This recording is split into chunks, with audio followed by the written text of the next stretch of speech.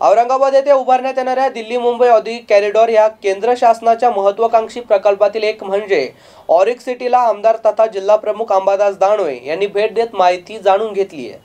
यावेळी आमदार अंबादास दानवे यांनी ऑरिक सिटी येथे उभारण्यात येत असलेल्या इंटरनॅशनल क्युशन सेंटर उभारण्यासाठी प्रयत्न करू असे आश्वासन दिले.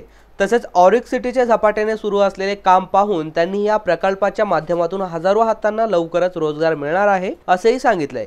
ऑरिक सिटी प्रकल्प मराठवाड्यासाठी अत्यंत महत्त्वाचा भाग असून लवकरच मराठवाड्याचे नाव देशात घेतले जाणार असल्याचे अंबादास दानवे म्हणाले ऑरिक हे औद्योगिक शहर शेंद्रा आणि बिडकिन या दोन टप्प्यात पूर्ण होत असून विमानसेवा रस्ते रेल्वे ही दळणवळणाची साधने येथील जगाशी जोडेल. तसेच स्वच्छ पाणी पुरवठा भूमिगत केबल लाईन वीज संपर्क इंटरनेट सायकल ट्रॅक आदी सुविधा उपलब्ध केल्या जाणार आहे तसेच काही आंतरराष्ट्रीय प्रकल्प येथे येत असून काही प्रकल्प सुरू देखील झालेत.